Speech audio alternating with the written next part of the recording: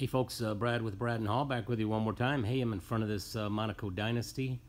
Just got everything completed, got all the furniture in there. Everything's looking really nice compared to what it was when we first uh, brought her in here. So let me take you inside, and show you what we did. And here is the old chairs. Some old villa chairs from back in the day. There were some really nice chairs today, but the weather's, the leather's just kind of shot.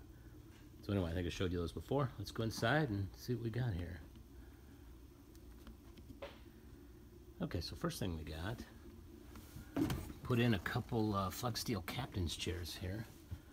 I've got uh, Flexsteel model 267 over there. And then we've also got a 267 on the passenger side with a footrest down here.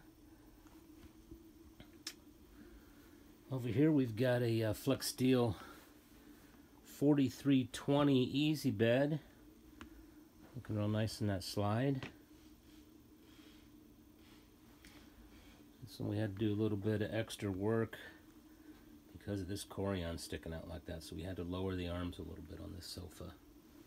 You'd never know if we didn't tell you, but otherwise it wasn't going to fit underneath there. And we've got it notched for a kitchen slide down here. So if you can see, the kickboard is actually hanging in front of the slide out slide out's about two inches high. So it kind of looks like we're sitting on the main floor, but really it's a notched kickboard. It's a notched uh, slide out.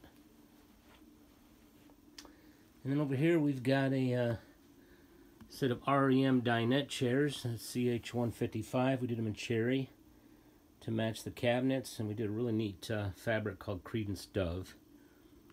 Some stuff we had that I think were just about out. I think we had like six or seven yards left, just enough to do a couple chairs and that's probably about it. Then we have a Flexsteel uh, 4875 68 inch sleeper sofa in here. The fold out bed. Take those seat cushions off. And of course we redid the, the carpet.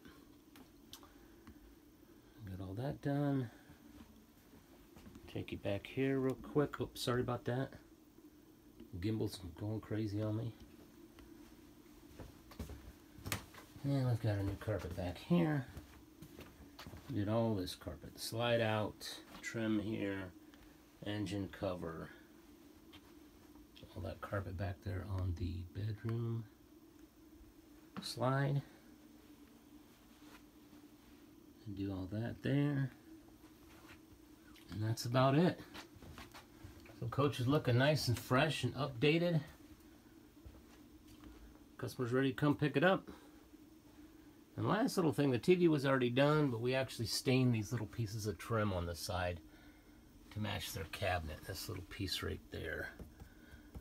Whoever did the TV conversion, they never stained these. They were, you know, they were stained, but they weren't stained to look nice like this. So we put poly coat on there. Got them put them back up there. Looks really good.